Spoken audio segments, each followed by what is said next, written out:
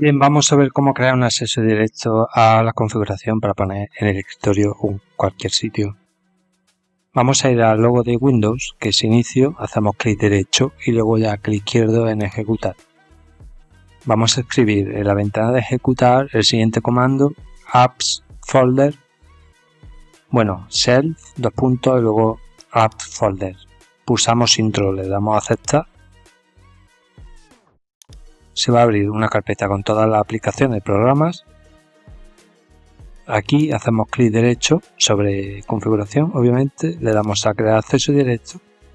Nos dice que Windows no puede crear un acceso directo aquí, que si lo queremos en el escritorio, le decimos que sí. Y ya lo tenemos en el escritorio. Esto lo podemos arrastrar a cualquier otra ubicación a través del explorador de archivos.